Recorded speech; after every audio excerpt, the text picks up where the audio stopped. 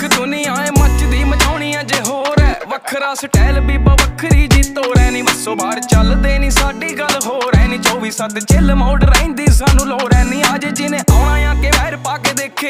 ਗਿਣਤੀ ਨਾ ਕੋਈ ਅੱਗੇ ਹੱਟ ਕਿਨੇ ਸੇਕੇ। ਰੱਬ ਨੇ ਤਾਂ ਹੀ ਕੁਝ ਲਿਖਿਆ ਏ ਲੇਖੇ। ਸ਼ਕਲੋਂ ਸ਼ਰੀਫ ਜਾਣੀ ਨਾ ਤੂੰ ਕੱਟਣੀ। ਗੁੱਡੀ ਸਿਖਰਾਂ ਤੇ ਜੱਟ ਦੀ। ਉਤੋਂ ਜੱਟ ਤੂੜਾ